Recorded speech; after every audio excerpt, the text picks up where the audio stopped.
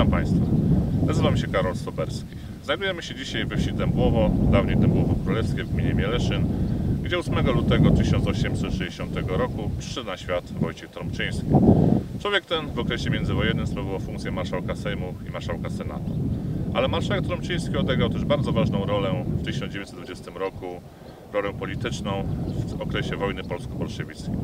Zapraszam Państwa dzisiaj na spacer z historią w tle wydarzeń sprzed 100 lat. Skąd się znalazł w ogóle rodzina, skąd się znalazła w Dębowie? Aleksander mm, Trąbczyńskiego ojciec z żoną Marią wynajmowali, dzierżawili majątki i się przenosili ciągle do nowego. Tak trafili do Dębowa, tam się urodziło rodzeństwo dość liczne Wojciecha, i, ale długo nie mieszkali. Mieszkali tylko przez trzy miesiące po urodzinach e, Wojciecha się przenieśli do Czemeszna. Okres czemeszyński to jest 15 lat. No i wszyscy mu e, tam rokowali jego karierę, że będzie wspaniałym inżynierem, bo był doskonałym matematykiem, w ogóle mechaniką się interesował i tak dalej, więc pojechał do Berlina. Ale do Berlinie nie wstąpił na Wydział Inżynierii, tylko na Wydział Prawa. Tam w czasie roku szkolnego, bo niecały rok zaliczył w Berlinie, yy, przerwał nagle z nieznanych przyczyn, przeniósł się do Wrocławia. Skończył tę szkołę i wrócił do Poznania. Tam został zatwierdzony na notariusza. Był członkiem Rady. Rady Miasta przez 10 lat był. Około 1910 zaczął się interesować polityką szerszą.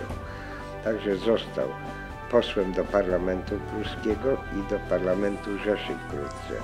W marcu 1919 roku został wykreślony z listy prawników niemieckich, ale już wtedy był marszałkiem Sejmu. Dotrwał tak do 1922 roku, gdzie były nowe, w tym roku były nowe wybory. On startował do Senatu, także został w 1922 roku pierwszym marszałkiem Senatu odrodzonej Rzeczypospolitej, był pierwszym marszałkiem Sejmu odrodzonej Rzeczypospolitej z ziemi gnieźnieńskiej. Wojciech Trąbczyński, który w 1920 roku był marszałkiem Sejmu Ustawodawczego, odegrał ważną polityczną rolę w okresie wojny polsko-bolszewickiej. To dzięki usilnym staraniom marszałka Trąbczyńskiego powstała Rada Obrony Państwa, nadzwyczajny i tymczasowy organ parlamentarno-rządowy. Powołanie Rady związane było z groźbą inwazji wojsk Rosji Sowieckiej na Polskę. Ale powstanie Rady nie było sprawą łatwą. Pomysł ten zaakceptował premier Władysław Grabski i podczas spotkania z marszałkiem Trąbczyńskim wypracowali koncepcję powołania Rady. Projekt przedstawiono Józefowi Piłsudskiemu, który udzielił swego poparcia. Ale do tego pomysłu trzeba było jeszcze przekonać posłów. Z tego też powodu marszałek Trąbczyński w swoim prywatnym mieszkaniu prowadził rozmowy z posłami, które zaowocowały tym, że Sejm przyjął uchwałę o powołaniu Rady.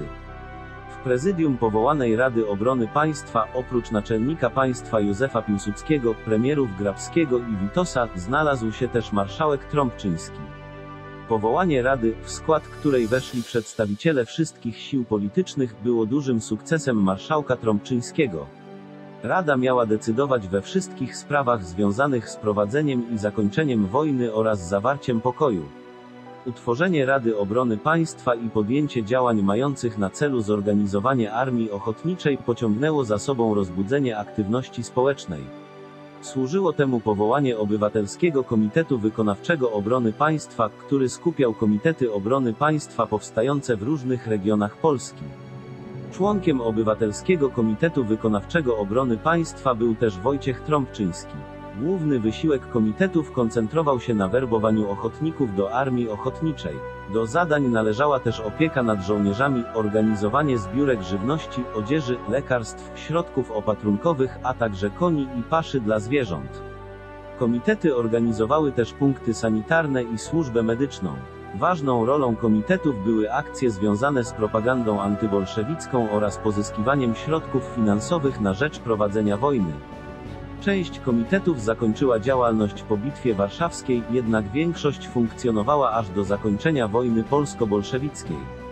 Dzisiaj możemy śmiało stwierdzić, że poprzez swoje zaangażowanie marszałek Wojciech Trąbczyński zapisał się jako ważna postać wydarzeń związanych z wojną polsko-bolszewicką. W 1939 roku wyjechał do Warszawy, bo wiadomo, że był już na liście, może do zlikwidowania przez Niemców.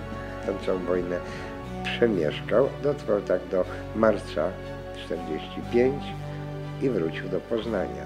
Tam dożył do 2 września 1953 roku, gdy zmarł. Marszałek Wojciech Trąbczyński przez wiele lat był zupełnie zapomnianym człowiekiem, mimo że to była wielka, zacna postać. Dopiero 31 października 2013 roku posunięty został ten pomnik y, w Dębłowie, w miejscu, gdzie marszałek się urodził.